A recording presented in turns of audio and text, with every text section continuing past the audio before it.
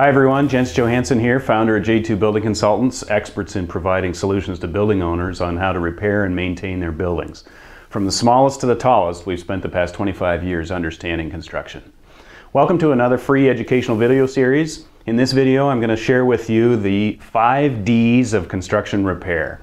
Define, diagnose, design, develop, and dig in. As with all of our free educational videos, we've found that simply talking to you in our videos gets our point across a lot better than the glitzy flyovers and animation and, and you know, spotlights of, of fancy videos. So imagine me talking to you in your conference room or out on the sidewalk in front of your building. This is going to be the same, same format. So let's get started.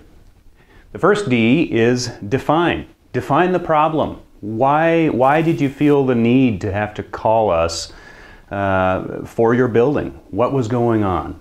And an example of that would be we're experiencing water leaks on the floor. It's kind of under a window, but we know there's a deck or a patio or a or a uh, some type of interface there at the floor line too. And hey, we're on the top floor.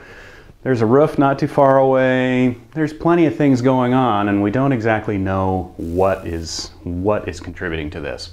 We'd like to call the window manufacturer, the roof manufacturer, the deck manufacturer, the railing manufacturer. There's all sorts of things happening in that interface there, but we really don't know who to call. So let's start with a consultant first, somebody that can come in, do some testing, do some diagnosis based upon their experience. Maybe they have to do a few little openings, but they can tell us what is happening. So, define the problem. The second piece is diagnose the extent of that.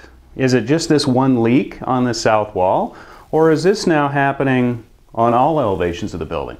Perhaps your community or your, your project is built in phases. We had, a, we had a project with three different phases, all built by different contractors, different developers.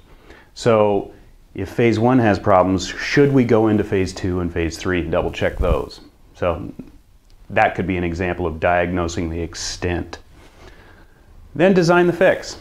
Is this a targeted repair or is this a complete repair? Did, after our investigation, did we realize, wow, that's the only spot showing it on the inside, but look at all our openings that we've done. It's really happening everywhere and it's only a matter of time before it gets into the inside. So Designing the fix talks about a, targeted repair approach or a complete strip and reclad and start over. The next D, develop the plan. So now that we have a scope of repair put together, we need to find a contractor to fix it. Are we going to put it out to bid to multiple contractors? Are we going to work with a contractor to negotiate the fix?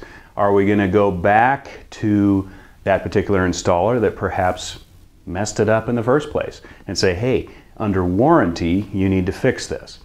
Um, perhaps, you know, I, I put in new or old. If this is a brand new, brand new building that leaks, hey, wait a minute, there's, there's construction defect issues. Perhaps we should talk to our attorney.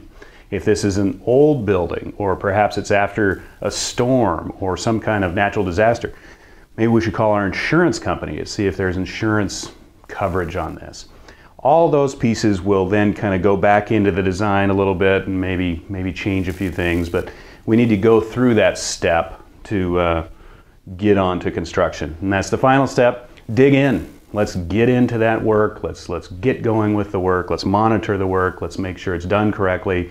Let's make sure the problems are fixed and uh, that it's put together quickly and effectively. So if you would like help with your five D's of the construction repair process please give us a call and contact us and we'd be happy to help. Thanks.